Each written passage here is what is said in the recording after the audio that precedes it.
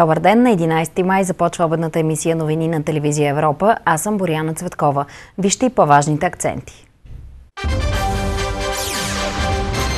Велосипедистът, който блъсна малко момиченце в Южния парк, се предаде в полицията. Продължава търсенето на алпиниста Боян Петров. Първите сателитни снимки от района на връх Шишапангма не са показали нищо. В Флоренция започна международната конференция Състоянието на Съюза. Близо половин милион лева бяха откраднати тази сутрин от супермаркет в Монтана. Наглият обир е станал с фалшив инкасо автомобил.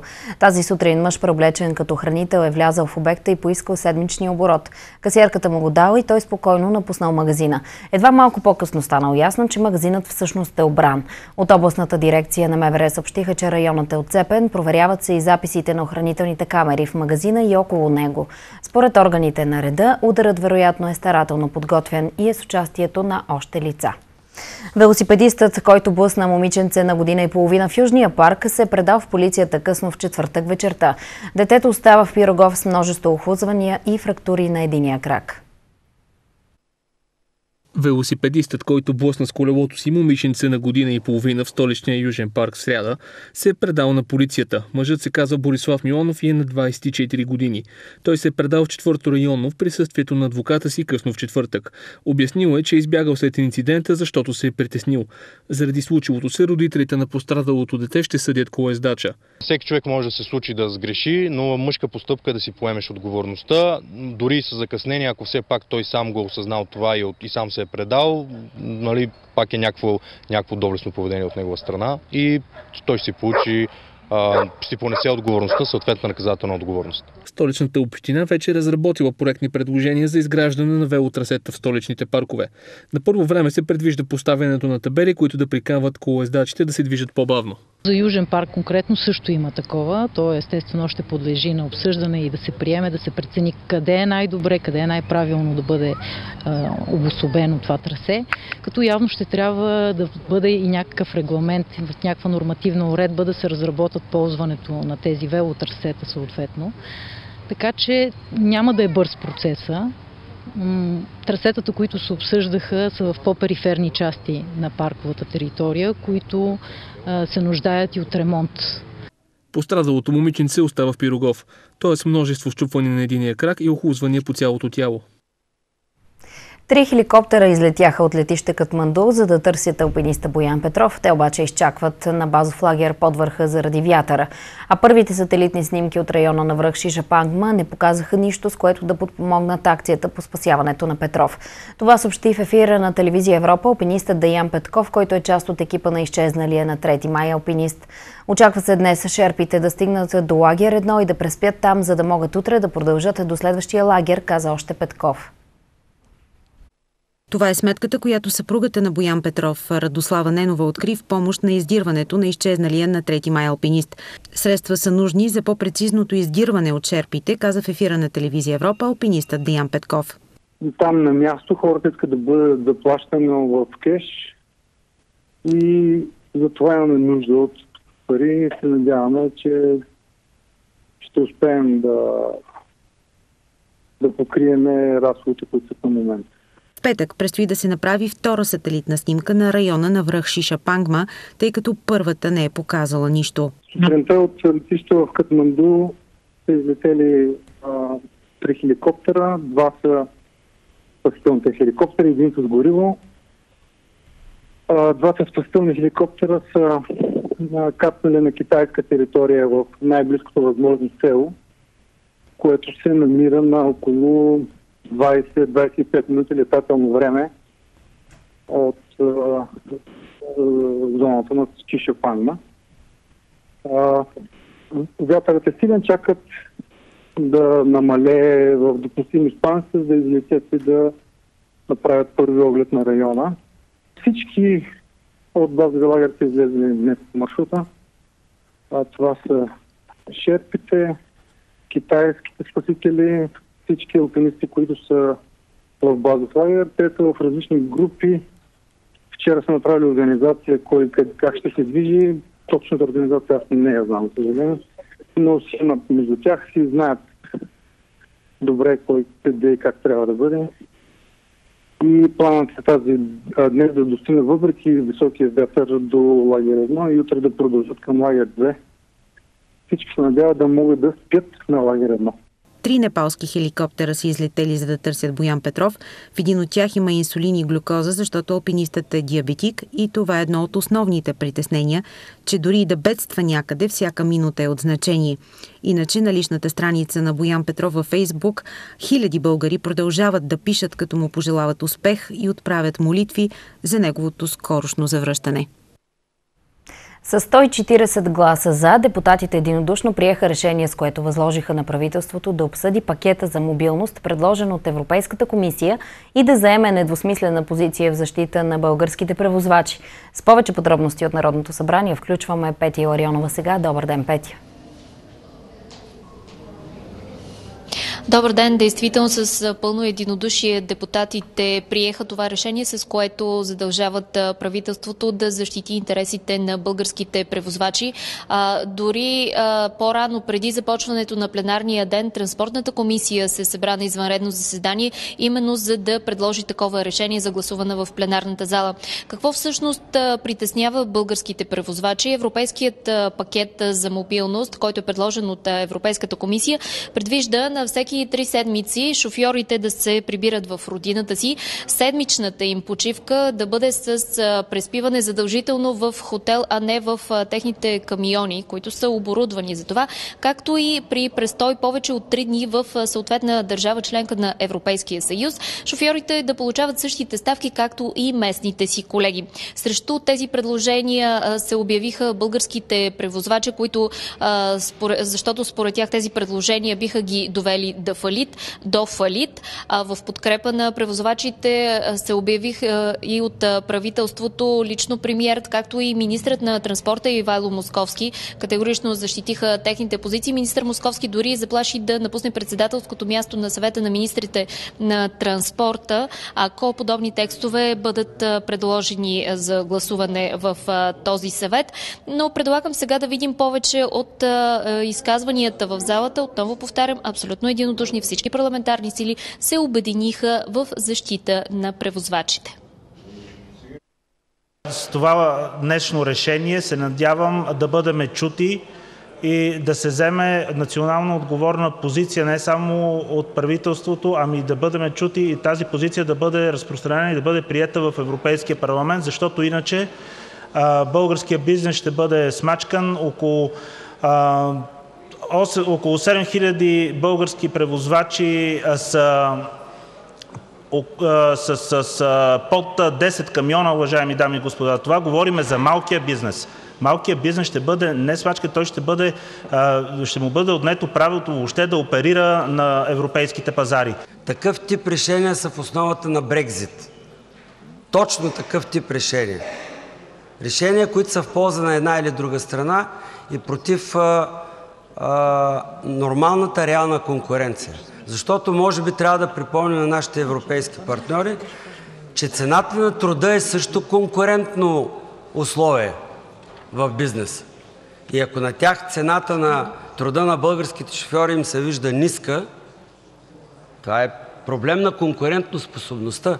И с законодателни актове не бива да се намесваме там, където действа пазара и основният принцип на пазара – конкурентоспособността. Сега е времето българското правителство от сега да вземе позиция и да бъде ясно артикулирана в Европа, да се знае, че България не приема този тип намеса в икономическите отношения.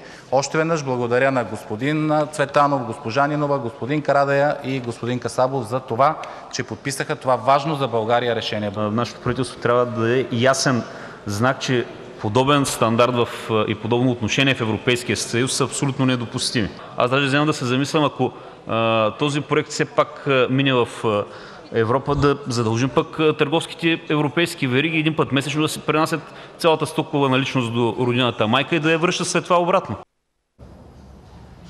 Следващата седмица, когато в София се събират лидерите на страните от Европейския съюз, превозвачите изразиха своето намерение да протестират с камиони и автобуси тук в столицата. Боряна. Благодаря ти, Петя Ларионова, на живо от Народното събрание. МВР издирва родителите на децата, които бяха заснети голи до кръста и с нецензурни надписи по телата си по време на футболния матч между Левски и Славия. Това заяви в парламента министърът на вътрешните работи Валентин Радев. Заради притеснителната гледка се самосезира и Държавната агенция за закрила на детето, която пък щеше да поддава сигнал и до социално подпомагане. Издираме и родителите. Лошото, че са малки деца, очевидно те са, как да кажа, от някой друг им е внушено да го правят това, защото възрастта ми вижда каква. Но сега и народните представители ми задаваха въпроси, които не са свързани с Министерството на вътрешните работи. Аз се опитвам, като ми задават въпроса, да помисля и да ви кажа какво ние правим, какво, за какво ние отговаряме. И като говорим за футболно хулиганство, това е свързано с него, аз казвам последното нещо, което се стремим, ще стане бавно, Министерството на вътрешните работи, служителите на Министерството да излезат от стадионите. Задайте същия въпрос на футболната федерация. Да ви кажат те, клубовете, защо има такива хора? Това са техни хора, техни фенове. Хора, които отиват и купуват билети. МВР, ние се появяваме накрая, да, децата сега ние трябва да ги изловим и ние сме лоши, защото ги пък хващаме. Един родител ще реагира веднага обратното. Може би част от обществото. Друга, друга чаша каза браво. Ама браво, ама преди МВР да се появи и както ме питате да издирехте ли родителите, къде са всички останали? Не го казвам, защото бягам от отговорност. Аз постоянно последно време се опитвам и с професионалното ръководство си говорим да отграничим отговорностите. Да принудим буквално, защото това е част от работата на Министерството, аз така го сващам, на Министерството на вътрешните работи. Да принудим тези, които са отговорни за това, което мене ме питате, те какво правят? Не бива да се очакват бързи резултати от работата на смесената българо-македонска комисия, която трябва да решава спорните исторически и образователни въпроси между двете страни. Съставът беше оповестен в сряда едновременно в София и Скопие. От българска страна ще има откритост, коректност и добронамереност при разговорите с македонските колеги. Това увери в студиото на сутрешния блок на телевизия Европа са председателят на комисията професор Ангел Димитров. Първото заседание ще се проведе в София през юни. Честност, прозрачност и научни методи. Това ще е основата на работата на смесената българо-македонска комисия за решаването на спорните исторически и образователни въпроси. И в двете държави към дейността и ще има огромен интерес и натиск от различни слоеве на обществото, защото темите са изключително чувствителни. Обясни в студиото на Европа сутрин съпредседателят от българска страна професор Ангел Димитров. Комисията от македонска страна ще бъде наистина натоварена силно с едни обществени очаквания да се запазат принципите, върху които е градена представата за съвременната държава и за македонското общество. Те ще бъдат под натиск и затова казвам, че работата никак няма да е лесна. Няма да, не бива да се очакват някакви бързи, светкавични резултати, някаква категорична промяна на позициите нали, от страна на нашите колеги. В състава на комисията от македонска страна са включени учени от така нареченото средно поколение. Хора, които не са толкова подвластни на догмите на македонизма. Това дава шанс да се постигне компромис, убеден е професор Димитров. За съжаление, в учебниците по история в Македония все още има факти, които не отговарят на общоприятите. Вчера разлистих един учебник за първия гимназиален клас нали, в Република Македония и там, примерно, старите българи, нали, преди формирането на, на, на, на България, на Балканите като държава, са представени като монголско-татарски народ тюрки. Нали, което отдавна е, е така отречено от развитието на съвременната историческа наука. Но на всичкото отгоре, да на всичкото отгоре въобще не е споменато, че те идват като народ с някаква висока култура. Точно обратното, че били е, номадски народ, който се препитавал от грабежи. Според професор Ангел Димитров, по-голямата част от македонското общество гледа в посока Европейския съюз и НАТО и това ще помогне в трудния преговорен процес за историята. От своя страна България също трябва да продължи да работи за интеграцията на Западните Балкани в Европейския съюз и след края на европредседателството ни, смята професор Димитров. Ако Европа не покаже солидарност към бежанците, ще изгуби душата си. Това заяви председателят на Европейския парламент Антонио Таяни по време на встъпителната си реч на Международната конференция Състоянието на Съюза, която се провежда в Флоренция. След Таяни пред публиката в италианския град говори председателят на Европейската комисия Жан-Клод Юнкер. Той постави акцента върху нуждата от промяна към мажоритарна избирателна система в Европейския съюз. Основни теми в програмата на форума, който завършва утре, са економиката, фискалната политика, политика, сигурността и отбраната, миграцията и промените в климата. Чуйте какво казаха двамата евролидери. Когато говорим за иммиграция и сигурност, става въпрос за солидарност. Солидарността трябва да бъде ключа в тази насока. Казвам го като гражданин на държава от Южна Европа. Що се касае до иммиграцията, не само страните по южните граници трябва да бъдат засегнати. Затова и решението на Европейската комисия е в посока на повече равноправни инвестиции по външните граници.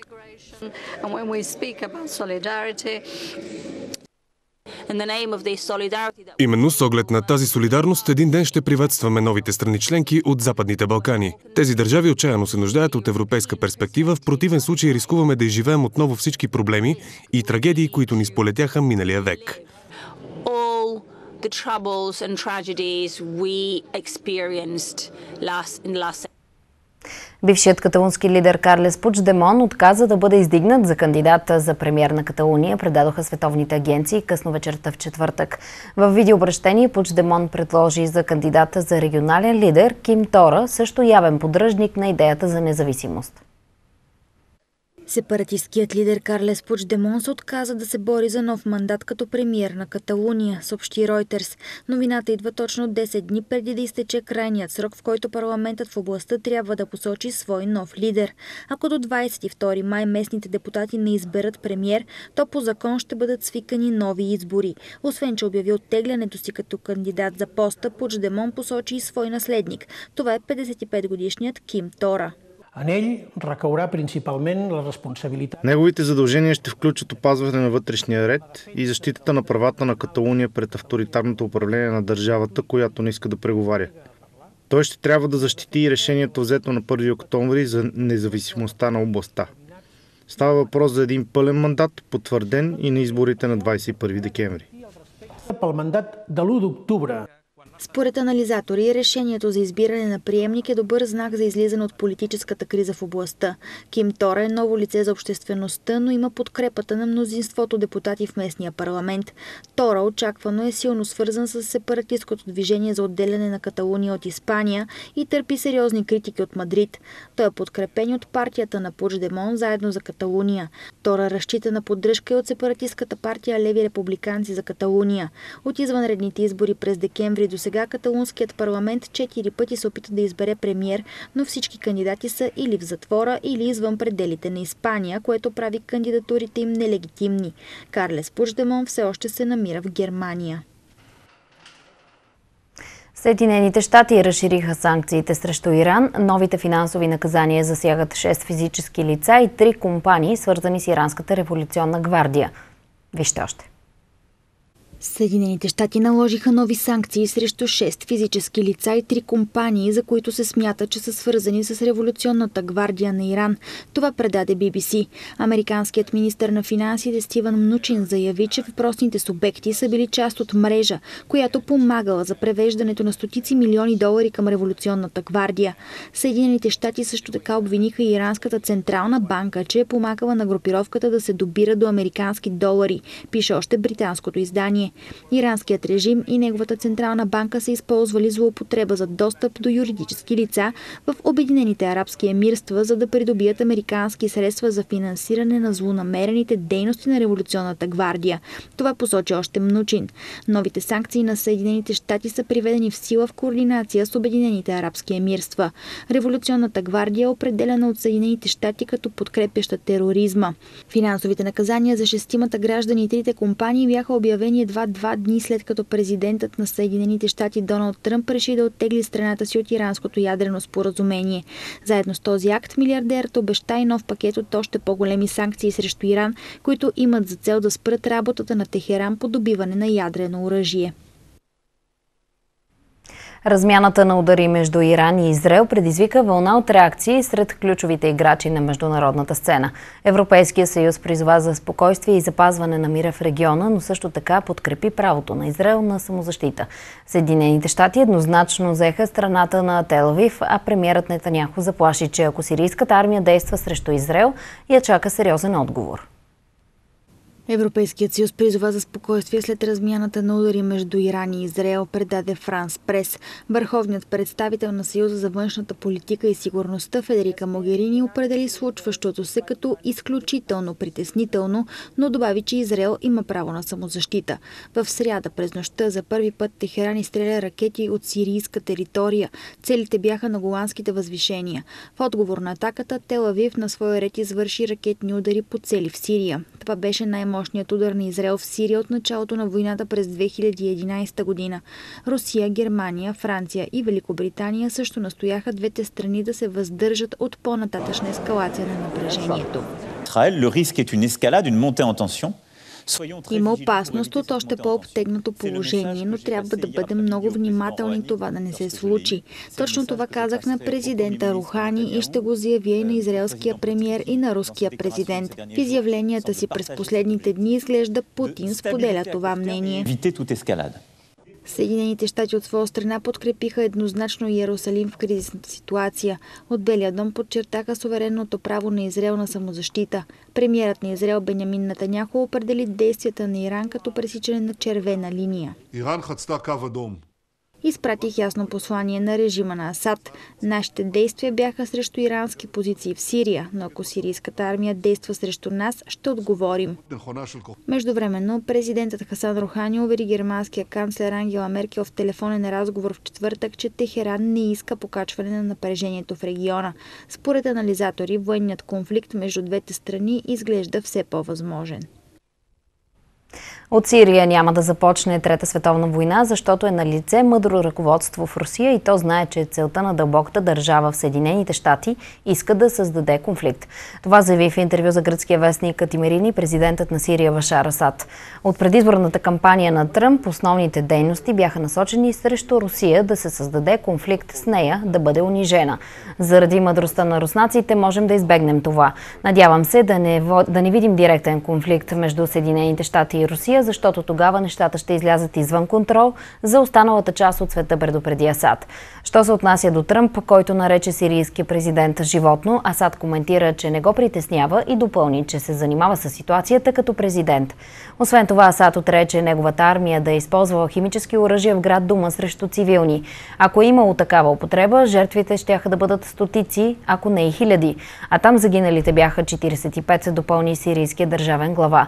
Той обвини турския си колега Реджеп Ердоган, че подкрепя терористите в Сирия от самото начало на войната и нарече агресия и окупация турската военна операция в анклава Африн.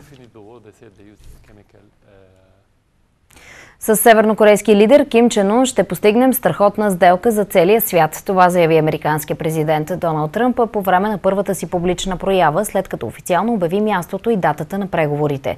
Пред свои поддръжници в щата Индиана Тръмп потвърди, че ще разговаря с Ким Чен Ун на 12 юни в Сингапур. По-рано през деня той съобщи новината от личния си профил в Твитър. Ще седнем на масата за преговори ще сключим страхотна сделка, изгодна за Северна Корея, Япония, Южна Корея, Китай, заяви Тръмп, ентусиазиран от подиума.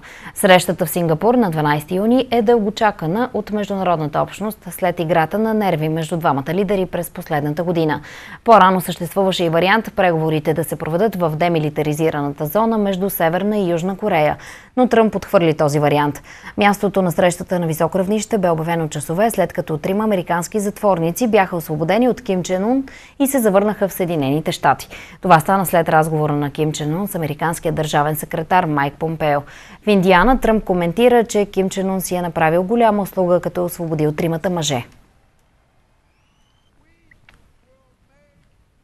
Ден остава до финала на Евровизия. Фаворит за наградата според букмейкерите е песента на Кипър, предаде Ройтерс. Втори се нареждат представителите на Норвегия, а трета е изпълнителката на Израел. Прогнозите са четвъртото място да заеме песента на Франция.